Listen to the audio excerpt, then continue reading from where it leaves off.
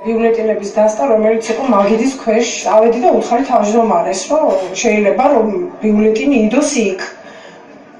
არ შეიძლება მითხრა და წამოვიდა და აიღო ეს ბიულეტინები და რა არის მეთქი? რომ კითხე ხელმოუწერილი ბიულეტინებია და ჩემი აზრით ახლა იმ ხელმოუწერილ ბიულეტინებს ვერაფერში ვერ გამოიყენებდნენ შეიძლება და ეს უბრალოდ პროვოკაციისთვის რომ რომ დამთავრდებოდა არჩევნები მე მოეშალათ და გადაეღოთ სურათები და აირჩა ისეთი გაყალბება და რაღაცა სისულელები ეთქვათ.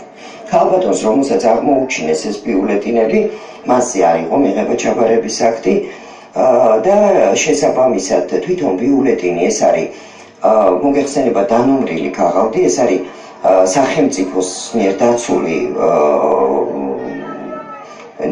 ნიშანი ნიშნის მატარებელი ფურცელი და შესაბამისად მის მასთან ესეთი დამოკიდებულება მინდა გითხრათ რომ არის პირდაპირ სისხლის სამართლის დანაშაული. ჩვენ როგორ ვისას